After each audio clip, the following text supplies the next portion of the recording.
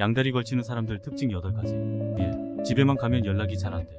2. 예, 술만 마시면 폰 배터리가 방전돼. 3. 주변 사람들에게 연인을 소개하지 않아. 4. 인스타나 카톡 프로필에 연인 사진을 올리지 않아. 네, 갑작스럽게 연인과의 약속을 취소하는 경우가 잦아. 6. 연인에게 폰을 절대로 안 보여주려고 7. 인터넷 카톡 등의 대화 내용이나 기록이 깨끗함. 8. 이런 게시물에 좋아요 절대 안 누르.